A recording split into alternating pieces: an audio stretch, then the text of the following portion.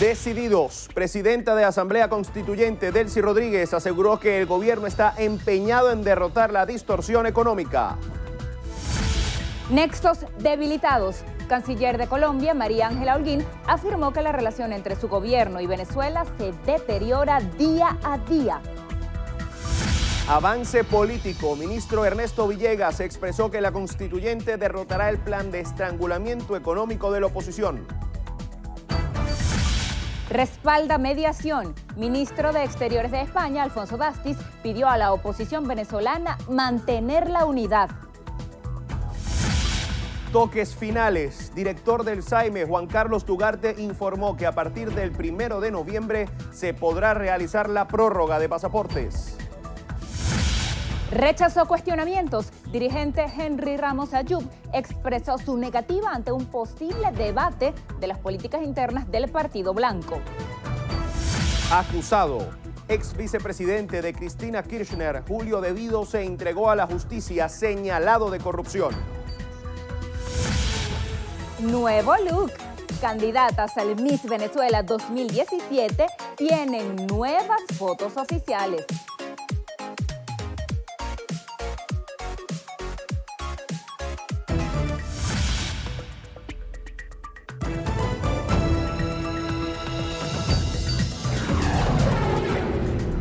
Noticiero Venevisión. Información justa y balanceada. Buenos días, bienvenidos a la emisión matutina de su noticiero Venevisión. Irio Pérez Petit y un servidor Gregorio Rojas estamos listos para llevarles las informaciones más recientes de Venezuela y el mundo e iniciar también nuestro acostumbrado recorrido informativo por el país para conocer cómo amanece Venezuela. Y lo haremos en el estado Nueva Esparta. Lo hacemos con información en materia económica. Nelmari Salazar nos amplía. Buenos días, Nelmari. Bye. Hola, muy buenos días. Enmarcado en el Plan Estratégico de Protección y Circulación al Cono Monetario, fueron cerrados más de 45 establecimientos que se dedicaban a la venta ilícita de juegos de lotería y azar por parte de efectivos del Comando de Zona número 71 de la Guardia Nacional en el estado Nueva Esparta, quienes de forma preventiva lograron incautar equipos de computación, tiqueras, monitores y laptops Canaima, además de un contectivo en efectivo de más de 5 millones de bolívares. Los efectivos cantrense manifestaron que este tipo de operativos se seguirán realizando en la entidad para evitar la venta a los menores de edad. Desde la isla de Margarita, Nelmari Salazar, Noticiero Venevisión. Nelmari, muchas gracias. Ahora nos trasladamos al estado Barinas. Ahí la gobernación toma medidas contra la crisis de producción de carne de res en la región. Wilmer Martínez nos trae los detalles. Buenos días, Wilmer, adelante.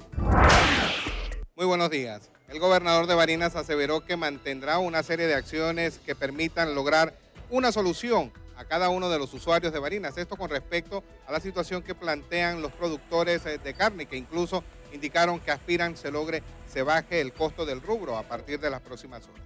Nuestra información la estaremos ampliando en nuestras siguientes emisiones. Desde el Estado de Barinas, Wilmer Martínez, Noticiero Venevisión. Muchísimas gracias, Wilmer. Continuamos ahora en Los Andes, en el estado Táchira. Allá la información es en materia de seguridad. Mariné Glot nos tiene el reporte. Buenos días, Mariné. Hola, buenos días. Efectivos de la Guardia Nacional desmantelaron recientemente dos depósitos clandestinos de combustible en el estado Táchira. Los procedimientos con apoyo del Ejército Nacional Bolivariano se llevaron a cabo en el sector Palmita del municipio panamericano, en dos viviendas donde fueron hallados 17 mil litros de combustible entre diésel y gasolina, así como 87 pimpinas o contenedores de diferentes capacidades de almacenamiento. La acción obedece al Plan Nacional de Contrabando Cero y lucha contra prácticas ilícitas en el eje limítrofe. En Táchira, Marine Glot, Noticiero Venevisión. Gracias, Marinet. De Táchira al Zulia. Ahí la alcaldía de Maracaibo continúa la recuperación del alumbrado público y de los semáforos. José Leonardo Nava nos informa. Buenos días, José Leonardo. Buenos días. En Maracaibo, los constantes apagones y robos de cables mantienen dañados el 80% de los semáforos de la ciudad. La información la dio a conocer Juan Pablo Lombardi, director general de la alcaldía Maravina, quien además indicó que las fuertes descargas y constantes fluctuaciones en el servicio eléctrico han provocado pérdidas que superan los 5 millardos de bolívares, deteriorando así el sistema de semaforización. También señaló que la delincuencia viola las tanquillas del semáforo y hurta el cableado, afectando gran parte de las intersecciones de la ciudad. Desde el estado Zulia, José Leonardo Nava, Noticiero, Venevisión. Muchísimas gracias, José. Nos vamos ahora al estado Monagas. Allá el Sarén realiza una jornada de legalización de documentos. Alexis Abreu nos amplía. Alexis, buenos días.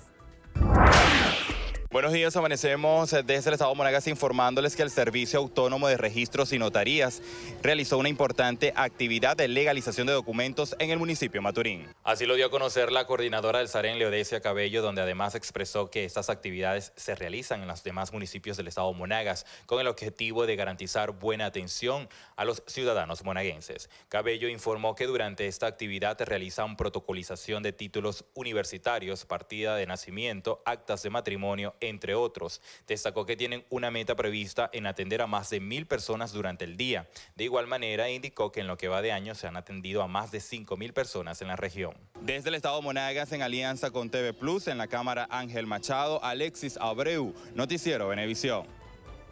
Alexis, gracias. Momento de finalizar nuestro recorrido por el país en el Estado Lara. Ahí se estarán recaudando fondos para beneficiar a una casa hogar de la entidad. Obra Don Orione. Génesis Colmenares nos trae los detalles. Buenos días, Génesis.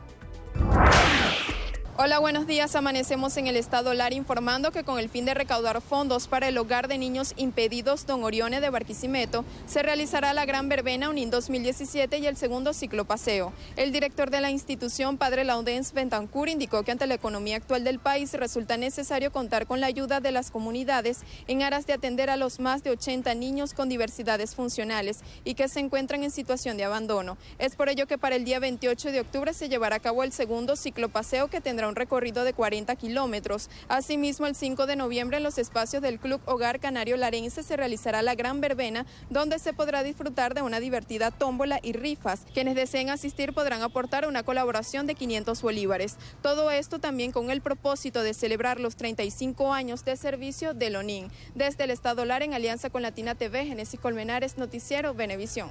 Muchísimas gracias, Génesis. Continuamos con más información. Delcy Rodríguez, presidente de la Asamblea Nacional Constituyente, aseguró que el gobierno nacional está empeñado en derrotar la denominada guerra económica que, a su juicio, se acentuó luego de los resultados de las elecciones regionales del 15 de octubre. Diana Vázquez nos amplía. Durante el recibimiento de la Marcha de las Mujeres en el Palacio Federal Legislativo por el Día del Socialismo Feminista, Rodríguez aseguró que todos los sectores del país saldrán a las calles a derrotar la distorsión económica. Lo que se desató luego de la victoria heroica de nuestro pueblo con los precios guarimberos la venganza del imperio vino justamente con la guerra económica, acentuarla, acrecentarla con la inflación inducida. Bueno, vamos con el pueblo, no hay otra solución. Blanca Cao, ministra para la Mujer, pidió se aplique la ley contra la delincuencia organizada y financiamiento al terrorismo para quienes promueven el contrabando de extracción, acaparamiento de alimentos y medicinas. Sabemos que están generando toda esta situación para crear un clima de terror y quebrar la paz de la República. No podrán. Nuestra vocación es de paz. Lo demostramos el 30 de julio con la gran victoria constituyente. Delcy Rodríguez pidió respeto para Venezuela ante las declaraciones que ofreciera en su cuenta Twitter el secretario general de la OEA, Luis Almagro, quien exhortó a la comunidad internacional a apoyar la decisión de anular la Asamblea Nacional Constituyente. Diana Vázquez, Noticiero, Benevisión. La canciller de Colombia, María Ángela Holguín, afirmó que la relación entre su gobierno y Venezuela se deteriora día a día. Holguín señaló que el nexo se ha debilitado debido a la crisis económica y la migración de venezolanos hacia su país. La diplomática aseveró que de 400 mil connacionales que llegaron de nuestra nación, al menos 100 mil son personas nacidas en Venezuela de padres colombianos. Así lo dio a conocer durante el tercer Congreso de Editores de Medios de la CELAC y la Unión Europea. El ministro de Comunicación e Información, Ernesto Villegas, expresó que el principal aliado del pueblo para derrotar la denominada guerra económica que, a su juicio, comanda la oposición, es la constituyente. Así lo afirmó Villegas durante su participación en la exposición de carteles No Más Bloqueo, que se inauguró en la Biblioteca Nacional de Caracas, donde aprovechó la oportunidad para resaltar lo que él considera el avance político para el país. El funcionario enalteció lo que cataloga de victorias electorales del 30 de julio y el 15 de octubre. Asimismo, aseveró que el regreso de diplomáticos estadounidenses es un triunfo de Venezuela sobre el imperialismo. El canciller de España, Alfonso Dastis, exhortó a la oposición venezolana a mantener la unidad a pesar de los resultados de las pasadas elecciones regionales. El diplomático español aseveró que su país desea una salida pacífica a la crisis que vive Venezuela. Insistió en la vía del diálogo entre el gobierno y la coalición opositora. Dastis reiteró su respaldo a la mediación internacional en las negociaciones y consideró como necesarias las sanciones que evalúa la Unión Europea contra autoridades venezolanas. En Argentina, el diputado Julio Devido, ministro durante el gobierno de Cristina Fernández, se entregó a la justicia tras ser acusado por malversación de fondos y defraudación al Estado. Devido fue detenido tras la decisión de la Cámara Baja del Congreso de despojarle su fuero parlamentario. Julio Devido fue ministro de Planificación durante 12 años. En ese tiempo estuvo encargado de las tareas en materia energética y transporte. El imputado ha negado los cargos, mientras que, mientras que los legisladores opositores han denunciado el caso como una persecución política.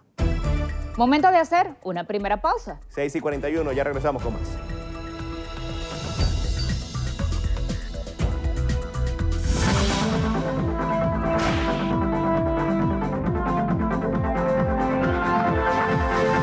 William Valderrama necesita con carácter de urgencia Sarelto de 15 miligramos. Quienes puedan colaborar, por favor comunicarse al 0414-274-6122. Las colaboraciones son gratuitas. No acepte realizar pago alguno. Un aporte más de Noticiero Televisión por Venezuela.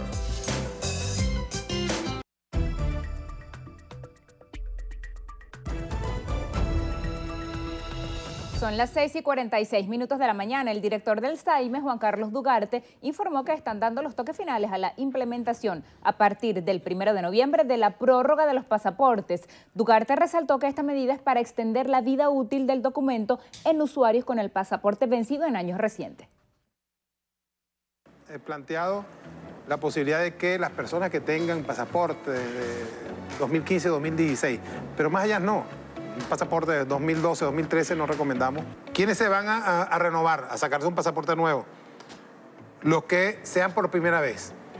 Los que no tengan espacio en su pasaporte, los que hayan agotado el espacio por extravío o también puede ser porque sea una, una persona menor de edad pues, que ha cambiado en su fisionomía. Eh, Resaltó que para obtener este beneficio se deberá ingresar al portal del SAIME y solicitar la prórroga, especificando si es necesario que se entregue esta modificación en Venezuela o en el exterior. El secretario general de Acción Democrática, Henry Ramos Ayub, expresó su negativa ante un posible debate de las políticas internas del Partido Blanco luego de la juramentación de los cuatro gobernadores ante la Asamblea Nacional Constituyente. Ayub reveló que el comisionado de la Mesa de la Unidad Democrática, Vicente Díaz, le propuso al jefe del comando de campaña Zamora, Jorge Rodríguez, que los mandatarios se juramentaran en los consejos legislativos en primer lugar y después ante la constituyente. Informó que el gobierno rechazó la propuesta y de inmediato exigió que fuesen subordinados ante la instancia gubernamental. Ante la demanda, el dirigente político por Acción Democrática advirtió que los candidatos que decidieran juramentarse bajo estas condiciones estarían sometidos a los estatutos del partido, llevándolos a la autoexclusión. Finalmente, calificó como perversas las acusaciones sobre un posible acuerdo entre él y el gobierno nacional para ser el candidato presidencial en 2018. El constituyente Jesús Faría, integrante de la Comisión de Economía Diversificada y Productiva de la Asamblea Nacional Constituyente, aseguró que hay mucha indignación en la sociedad venezolana ante la escalada de precios en los últimos meses. A su juicio se ha desatado un fenómeno especulativo inédito y como nunca antes en el país. Faría considera que existe una lógica de guerra económica cuyo propósito es perjudicar a la población para que el malestar genere un costo político al gobierno. El constituyente considera impostergable la aplicación de un programa contra la especulación, por lo que resaltó la obligación de diseñar un plan económico coherente y eficiente que ataque el problema. La Organización de Estados Americanos denunció irregularidades y violaciones sistemáticas durante el proceso electoral de las elecciones regionales del pasado 15 de octubre. Mediante un comunicado, la OEA manifestó que el proceso electoral estuvo plagado de irregularidades que restringieron los derechos políticos de los venezolanos e impidieron la transparencia de los resultados. En el texto, la organización criticó la ausencia de una observación electoral internacional de carácter imparcial durante los comicios y calificó de inviable una auditoría integral del proceso, según explicaron, debido a la imposibilidad material de verificar algunos de los procedimientos. Nueva pausa aquí en la emisión matutina. Ya regresamos con más.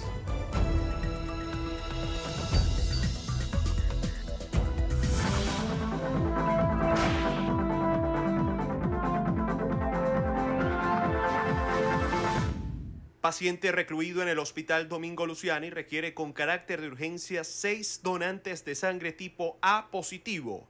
Quienes puedan colaborar, favor comunicarse al teléfono 0416-837-7835. Las colaboraciones son gratuitas. No acepte realizar pago alguno. Un aporte más de Noticiero Televisión por Venezuela.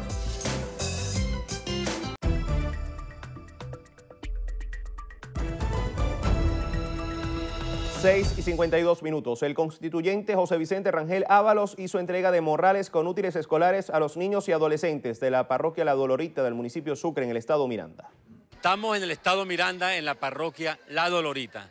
Con este bello pueblo, mujeres, hombres y jóvenes y niños, nos estamos llevando a cabo la política educacional de Héctor Rodríguez, donde parte de la educación, parte de su plan de gobierno es que no se quede ni un solo niño fuera de las escuelas, fuera del estudio, y que cada uno de los niños cargue su moral, cargue sus cuadernos, sus lápices, sus creyones, sus reglas, para que puedan ser excelentes estudiantes. No solo es la parte humana de los niños en la educación, sino que también es el rescate, las estructuras de todas las escuelas del Estado y el rescate y la ayuda a todos los maestros, profesores y profesoras que tiene que ver con los colegios de la educación, de la gobernación del Estado Miranda.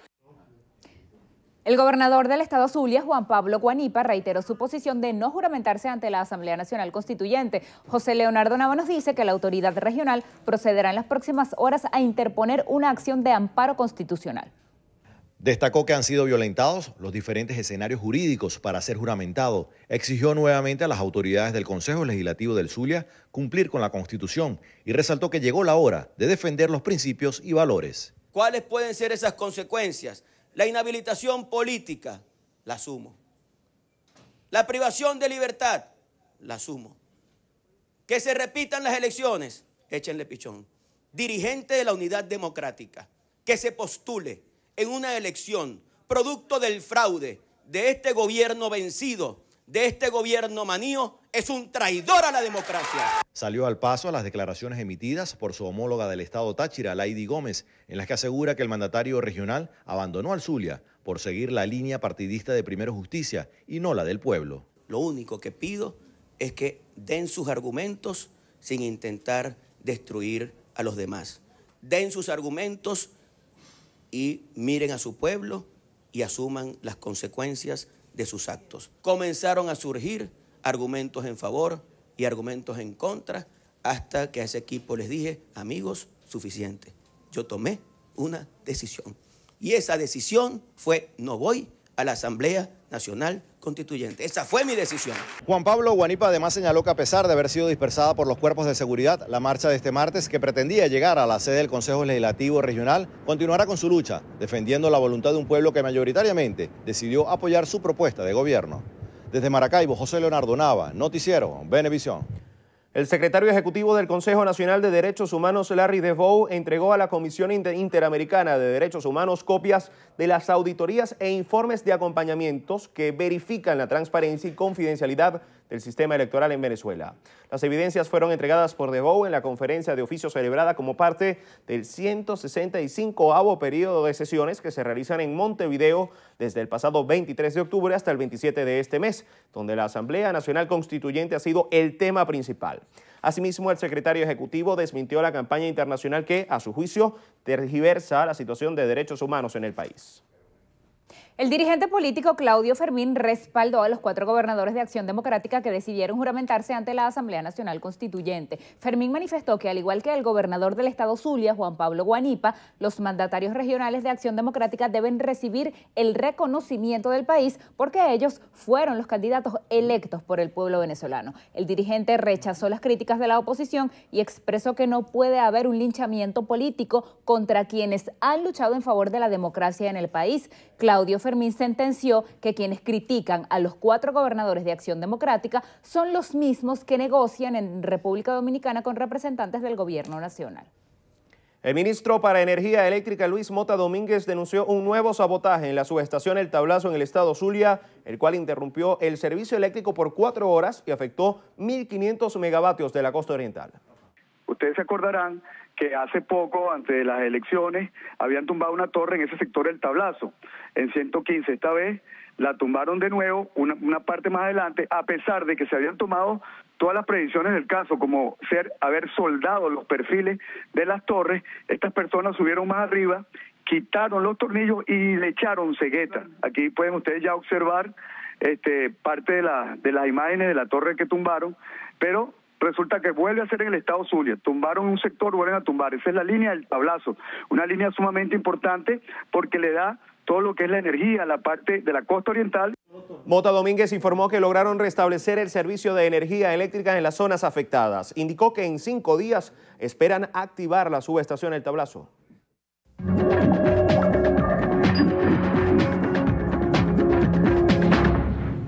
Comenzamos nuestro recorrido por lo que pasa en el mundo. Iniciamos en España. El presidente de Cataluña, Carles Puigdemont, no asistirá al Senado español este jueves ni el próximo viernes. Desde allí defendería sus alegatos contra las medidas del gobierno central que buscan impedir la independencia de esa región. Así lo informó la presidenta del Parlamento local, Carme Forcadell. El jefe del gobierno español, Mariano Rajoy, aseguró que la única respuesta posible ante la situación catalana es ejercer temporalmente sus competencias regionales. El mandatario lamentó la falta de diálogo de Puigdemont e insistió en que su objetivo es restaurar la legalidad en la comunidad autónoma. En Argentina, la exmandataria Cristina Fernández deberá comparecer este jueves ante la justicia para declarar por el caso de encubrimiento a iraníes en el atentado de la mutual judía AMIA en 1994. La ex jefa de Estado enfrenta tres procesos judiciales por presuntas irregularidades durante su gestión. En Brasil, el Congreso suspendió la demanda por corrupción contra el presidente Michel Temer. El mandatario fue dado de alta tras ser sometido este miércoles a exámenes médicos por un problema urológico. En Estados Unidos, las autoridades arrestaron al hermano de Stephen Paddock, responsable de la masacre en Las Vegas el pasado primero de octubre. Bruce Douglas Paddock fue detenido por presunta posesión de pornografía infantil. Finalizamos nuestro recorrido en Italia donde la alcaldía de Taranto, al sur del país, cerró las escuelas debido a emisiones tóxicas de las siderúrgicas. Las fábricas de acero producen 93% de las partículas nocivas, por lo que se considera un posible detonante del cáncer en esa nación. Pausa. Al regreso en entrevista a Venevisión nos acompaña Rodrigo Agudo, representante de Fedenal. Con él conversaremos al regreso. Quédense ahí.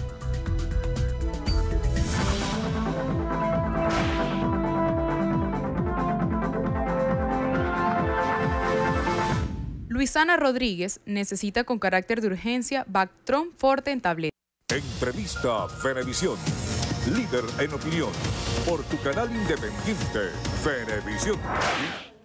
Bienvenidos. Tal como lo anunciamos, nuestro invitado el día de hoy en entrevista a Venevisión es Rodrigo Agudo. Él es asesor de FEDENAGA, la Federación Nacional de Ganaderos. Gracias por estar con nosotros. Muchas gracias por la invitación, Lirio. Ustedes tienen mañana una reunión con el gobierno nacional para discutir el tema de los precios.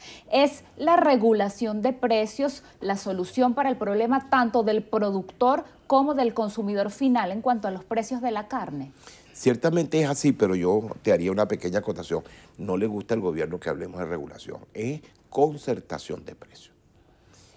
Eso, ciertamente, esa reunión mañana está eh, pautada para el, el ministerio. Ahora, yo creo que es una reunión que repite esfuerzos que venimos haciendo y que ratificamos que existe en el sector de la producción la máxima disposición de buscar solución a los problemas. Pero es que los problemas no están por la vía de concertar, regular, fijar, este, administrar precios, porque los precios son la consecuencia de una actividad económica que vive el país. Y estamos viviendo un país con hiperinflación. A lo mejor lo que yo te diga hoy como precio, mañana cuando vayamos a hablar ya no es válido, porque estamos con una inflación del 1 o 2% diario. Ahora, el problema es que el gobierno quiere seguir atacando esta, buscando una solución como si el país estuviera viviendo una gripe y que con acetaminofén vamos a solucionar. No, la economía venezolana tiene un cáncer y necesita curable, pero necesita un tratamiento para solucionar ese cáncer. Es una economía que está enferma. No busquemos las causas, es lo que estamos viviendo. Estamos viviendo una economía hiperinflacionaria Y para eso hay que hacer un ajuste macroeconómico para sincerarla. Tú vas hoy a una gasolinera y compras por 30 bolívares 30 litros de gasolina y te paras en la tienda de conveniencia de la misma gasolinera, compras 600 cc de agua, medio litro de agua y vale 3 mil bolívares. O sea, medio litro de agua vale 3 mil veces más de lo que vale un litro de la gasolina. Es una economía enferma. Si no se ajusta la economía, y es el único responsable, el único que puede ajustar la economía, porque es el que administra la política monetaria, es el gobierno. Entonces, el buscar soluciones donde no podemos nosotros darlas, no es la posibilidad de poder reorientar la economía en función del beneficio de la población. Estamos en una economía hiperinflacionaria, mañana vamos con la máxima disposición, pero nosotros mañana entonces tendremos que decirle al gobierno, está bien, fijemos el precio que es para hoy, en alguna manera, pero cuando tú vas a Agropatria, que es la tienda del gobierno, a comprar los insumos, las semillas, el, este, el abono, las medicinas para los animales. La factura dice válido por 24 horas. Entonces nosotros aspiramos que el gobierno también diga que cuando nosotros concertemos el precio, también diga válido por 24 horas. ¿Cómo está el sector ganadero? ¿Cuánto cuesta producir? Ya ha hablado sobre la dificultad para los insumos, para el pasto que tiene que comer ese ganado para poder ganar un peso y poder producir buena carne, buena leche. También cómo está la seguridad tanto personal del productor agropecuario, de los trabajadores de las fincas, el robo de ganado, el avigeato, el contrabando de extracción, las reses o los otros animales que pueden sacar hacia otros países a través de la frontera. Si le pidiera hacer una fotografía de cómo está ese sector primario de la economía ese sector primario de la economía está sobreviviendo. Y está sobreviviendo gracias a la voluntad ¿no? y al compromiso con el país que tiene el ganadero. El ganadero lo que ama y lo que sabe hacer es trabajar la tierra. ¿no? El agricultor, el ganadero, trabajar su tierra y no se va a ir y va a seguir ahí. Y estamos dispuestos a ir donde sea por buscar una solución al problema, porque es garantizar tu tradición, tu gentilicio, tu trabajo. Pero vuelvo a insistir, ¿cómo armamos una estructura de costo si el gobierno no te reconoce que hay inseguridad en el campo? Si el gobierno no te reconoce que hoy, por una población que está en una situación paupérrima, sale a robar comida en alguna manera, pero esas pérdidas no te las reconocen, no te las reconocen como parte de lo que es el costo, en alguna manera. Donde un gobierno cree que con solo decir ¿no? que el precio es tal, la economía va a funcionar. La economía no sabe leer decretos y menos, y menos obedecer mandatos. Hace seis meses un vicepresidente dijo, vamos a regular los pollos y el cartón de pollo costaba 800 bolívares. Hoy cuesta 45 mil bolívares. Tan sencillo como eso. Eso no obedece. Tú vas a la frontera y tú puedes decir que aquí no puede fijar un precio que aquí el kilo de carne vale 100 veces menos que del otro lado. Mire, los animales lo llaman semovientes porque se mueven. Solo casi van para el matadero del país vecino porque allá le pagan más que lo que pagan aquí. Entonces, tú no puedes regular ni decretar que la economía funcione como yo quisiera. Pero además de eso, creo que, y, y te diría, ¿cuál es la solución? Me preguntas tú. Muy sencillo. ¿Cuál sería? La solución es un gran acuerdo nacional. Y un gran acuerdo nacional donde cada quien se ponga a hacer lo que debe hacer y sabe hacer. El gobierno no sabe ser ganadero. El gobierno no sabe ser industrial. El gobierno no sabe ser este, comerciante. El gobierno lo que debe hacer es dejar de hacer lo que no sabe y ponerse a hacer lo que dejó de hacer por hacer lo que no sabe, que es darle apoyo a la producción con electricidad, con gas, con agua, garantizando un sistema de salud para que el trabajador tenga disposición y voluntad de trabajo en alguna manera. Hoy no tenemos eso y además tenemos un gobierno que es poseedor del 50% de la capacidad instalada de producción de leche, domina el 60% de los mataderos, tiene el 66% de los centrales azucareros, tiene el 45% de las plantas de harina precocida y no hay harina precocida, no hay leche, no hay ganado, etc. Entonces es corresponsable de la escasez. Esas dificultades que usted describe inciden en la reducción del rebaño. Por ejemplo, Susana Rafali, que es una nutricionista vocera autorizada de Cáritas, habla de que Venezuela es un país subalimentado o malnutrido.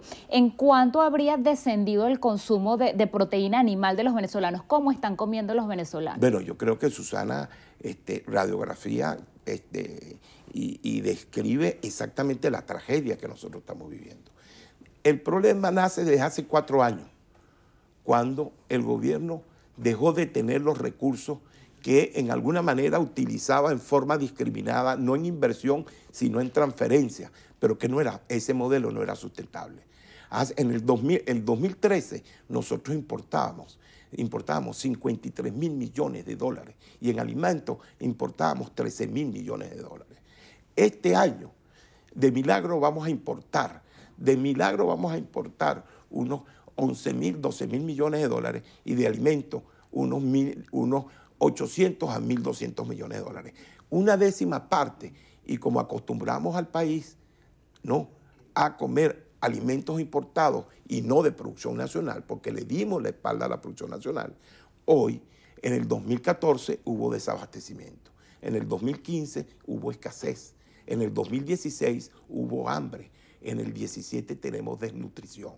En el año 2013, el venezolano consumía 81.5 kilogramos persona año en proteína animal, entre cerdo, pollo, huevos y ganado. Hoy estamos, este año el pronóstico es 27 kilogramos. Hemos descendido un 75% en el consumo. Por eso tenemos desnutrición. Ese es el alerta que hace Carita. Ese es el alerta que hace Susana. Y eso no lo arreglamos en una reunión mañana para concertar un precio que vamos a tener que volvernos a reunir el viernes que viene para concertar otro y el otro viernes para concertar otro. ¿no? ¿Por qué? Porque estamos en una economía hiperinflacionaria. Los ganaderos no tienen la posibilidad de arreglar la hiperinflación. La hiperinflación es producto de una orientación económica equivocada y el único que puede solventar el problema de la hiperinflación a los fines de rescatar el bienestar de la población se llama el gobierno nacional. Nos queda poco tiempo, pero no quiero despedirlo sin pedirle dos comentarios bien puntuales. Con ese escenario, ¿cómo se vislumbra el diciembre, el fin de año 2017 y el año 2018, cuando usualmente al terminar el año, pues aumenta el consumo de carne de cerdo, pernil, hallacas, pan de jamón y también vamos a poner el escenario de que toman en cuenta las sugerencias que ustedes van a hacer, el gobierno nacional. ¿En cuánto tiempo podríamos ver soluciones o, que sean palpables? Yo en ese sentido le- te, te respondo. Primero, la disposición del hombre del campo está en seguir trabajando por buscar el bienestar de la población, porque además esa es su pasión y ese es su compromiso. Esta economía tiene la posibilidad de recuperarse rápidamente. Hoy no me atrevería a decirte si es un problema de, de seis meses o, de un año. Eso depende de la voluntad política de tomar las decisiones que se tienen que tomar, ¿no? Obviando cuál puede ser el costo de la popularidad y el costo político, pero siempre orientados en términos del bienestar de la población. Ese es el cambio que necesitamos. Para ese acuerdo nacional estamos dispuestos a trabajar y trabajar, pero el que tiene que tomar la decisión es el gobierno. Te repito, la economía venezolana tiene cáncer, necesita un tratamiento de quimioterapia, un cáncer curable, lo podemos curar entre todos, pero necesita quimio, no necesita que me digas que tengo una gripe y que con una simple pastilla de acetaminofén lo vamos a arreglar. Tenemos que tener un buen diagnóstico donde está el problema para buscar la solución. Si nosotros nos ponemos a buscar este, el diamante que se nos perdió debajo del farol de- de la luz, donde hay un farol, cuando se perdió en la oscuridad, evidentemente no vamos a conseguir la solución del problema. Se nos agotó el tiempo. Muchas gracias por haber venido a conversar con nosotros. Gracias a ti por la invitación. Así despedimos entrevista a Benevisión con Rodrigo Agudo, él es asesor de la Federación Nacional de Ganaderos, Fedenaga. Gracias a ustedes también por acompañarnos al regreso más de la emisión matutina de Noticiero Benevisión.